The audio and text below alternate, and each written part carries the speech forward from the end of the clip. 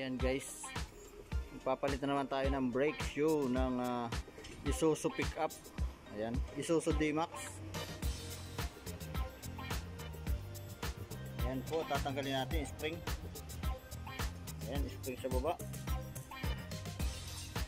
Ito po, spring na to. Ayan, ito tanggalin natin sa handbrake.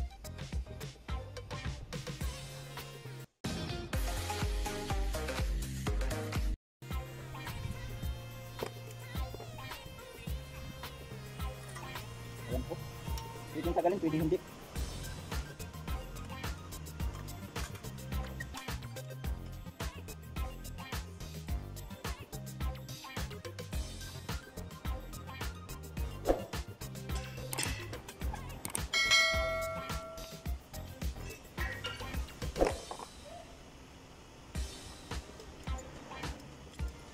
Ayan tanggal agad.